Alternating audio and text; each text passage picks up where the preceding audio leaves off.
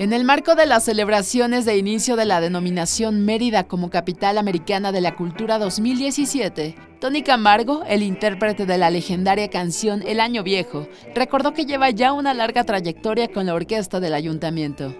Por principio de cuentas soy cantante de la orquesta del ayuntamiento, donde me han hecho el favor de, desde hace varios años, pues aquí estamos actuando.